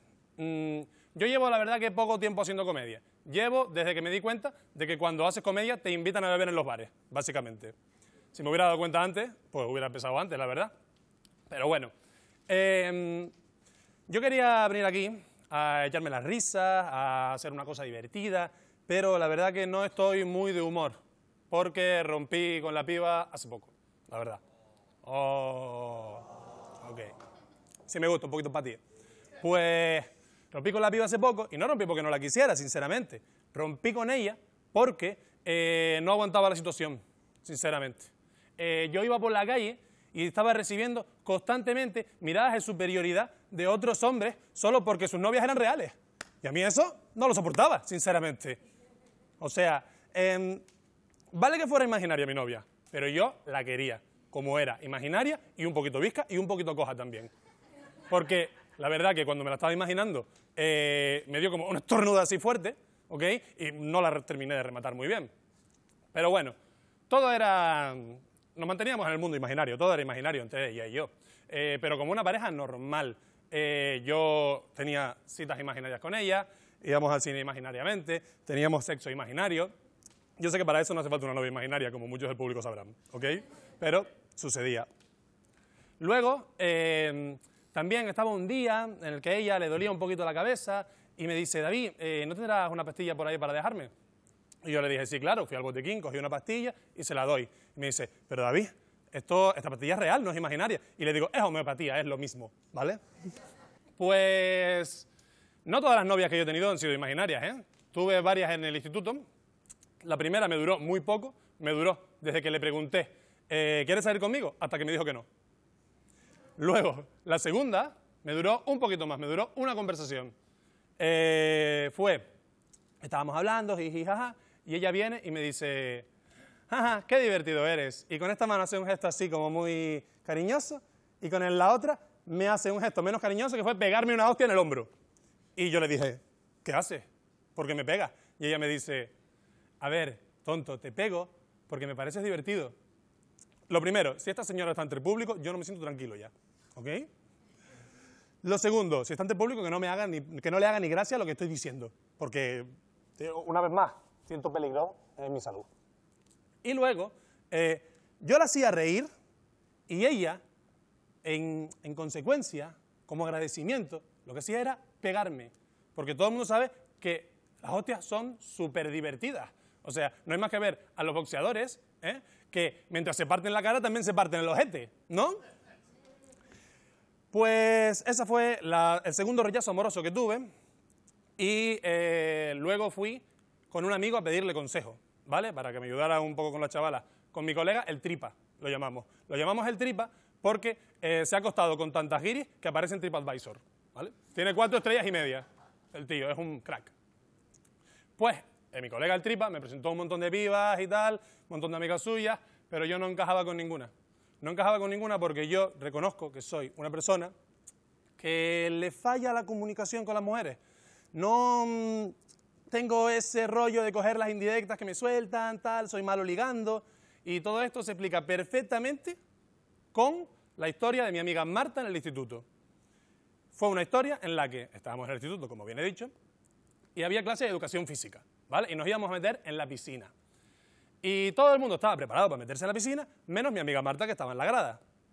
Y yo, como persona que muy educada que soy, voy con mi amiga Marta y le digo, Marta, eh, ¿qué pasa? ¿Que no te quieres meter en la piscina? Y me dice Marta, no, no es que no quiera, es que no puedo. Y yo diciendo, ¿cómo que no puedes? ¿Te pasa algo? Me dice, sí, sí, es que mm, me vinieron a visitar ayer. Y yo diciendo, a ver, yo estuve ayer con mis colegas en mi casa jugando a la Play, no veo ninguna correlación entre los dos hechos, la verdad, mm, ni idea. O sea que eh, yo me voy a meter a la piscina ahora, ¿qué me estás contando? Me dice, a ver, David, no sé si lo has entendido, es que la marea está alta. Y yo le dije, eh, Marta, es una piscina, ¿ok? No sé si has estado atenta en clase, mm, estabas un poquito perdida, presta atención. Luego me dijo ya, como perdiendo el sentido, "Eh, David, que no sé si te has dado cuenta, que tengo la regla. Y yo le dije, Marta, que esto es gimnasia, no dibujo técnico, por favor, estate concentrada en la conversación. Pues luego tuve un problema con el director, porque Marta, por algún motivo que yo desconozco, se lo fue a contar al director, y el director vino y me dijo, David, esto es un asunto muy grave, ¿vale? Marta me ha contado su situación. Y le digo, ah, te la contó a ti, porque a mí no me contó ni mierda. O sea, entre tú y yo, yo creo que está en esos días del mes. Muchísimas gracias. David Méndez. Bien, David. ¿Cómo te has sentido, David? Me gusta preguntar. bien, esto. muy bien. ¿Cómo te has sentido? Muy bien, me costó arrancar un poquito como los carburadores diésel del coche de mi De abuelo. gasoil, ¿no? Sí, Eso. estabas ahí. No, pero yo he visto que poco a poco he ido cogiendo el ritmo y luego, evidentemente, la tele es la tele. La tele es la tele. Hombre, es la primera vez que estoy en la tele. ¿Sí? Por lo que puedo decir que este es un público maravilloso. Sí, mejor que me he ha sido el encontrado. mejor público, ¿eh? Mis años de televisión, puedes decir eso, mi experiencia con la tele. Claro, claro, que es Oye, solo esta. pues el público está, está bien para, para David, que como decíamos es su primera experiencia en televisión y me ha gustado mucho, te deseo mucho éxito. Pero vamos a ver qué cuentan los expertos, que eh, por cierto, ahora les cuento una cosa, me ha mandado Enrique San Francisco, Irene, me ha mandado el emoticono para él, que lo está viendo por la tele, así que ahora se los digo yo, pero vamos a ver qué pasa por aquel sillón, ¿no? Sí, y yo mientras me quedo aquí con mis invitados, sigo con Piedra Pómez y con Carmen Cabeza, que creo que todavía están, están debatiendo todavía, ¿saben ya? Sí. Lo tapamos, lo tapamos. Espejito, espejito. Em, Paco, ¿elegiste al final? ¿He elegido algo? Pues vamos a ver. Es difícil eh, valorar esto. Hay que vamos a valorarlo con el emoticono y también vamos a darle algún consejo, ¿no? Que también. Pero fíjate una cosa, Irene, que los tres son profesores y están acostumbrados a evaluar, así que vamos a darle mambo, ¿no? Pues venga, a ver, a Y ver, y a otros a ovular. A veces, a veces hay ovulación en vez de evaluación. Claro, ahí veo. Uy, pues veamos la uy. ovulación. Paco, No, yo le he puesto esto. El llanero solitario. El llanero ¿no? solitario, el Esto- vaquero. Es decir, ahora mismo está llanero solitario y a mí lo que se me ocurre es que es un discurso que hay, no sé, humorístico, humorístico, podría serlo si no fuera, tuviera tanto texto. Pero hay que, se empieza así y hay muy buenas Bueno, primera crítica constructiva, muy buen consejo. Vamos con Carmen, a ver. Yo encontré la novia, La novia perfecta, la David. novia, la Claro. novia A la flamenca. la Sí, gitanilla. Sí, la, y yo, bueno, por ejemplo, algo positivo. Tienes muy buena voz, muy buena dicción, porque hay gente que hace monólogo y no se le entiende, ¿no? Y eh, ¿Y tienes por muy qué miras para Piedra y te ¿eh? ríes con ellos? Eh, porque Que me meo, yo me Yo, verme aquí en medio de Piedra esto es un sueño para mí. El bocadillo de pata de Quique San Francisco, que son Piedra Pómez. A Ahí ver, está. ya no lo puedo morder, ¿no? No lo Y puedo a ver, morder. eh, entonces, eh, que la dicción es buena. La dicción es buena, la voz es buena. eh, mm, ¿Qué diría yo negativo? Pero no en ti. Esto es general en casi todos los chicos, chicos que empiezan a hacer monólogo, que siempre es el tema de la novia, la regla y, ¿sabes? Es como yo en mi línea feminista, vamos, que Es no... Carmen Cabeza, señoras soy y yo, señores. Soy yo, siempre, Carmen siempre es el chiste de la... Y que- nos vamos, no, tienes que decirlo, y nos vamos con Gregorio. Vamos. A ver, Gregorio, di, di muchas cosas bonitas, por favor.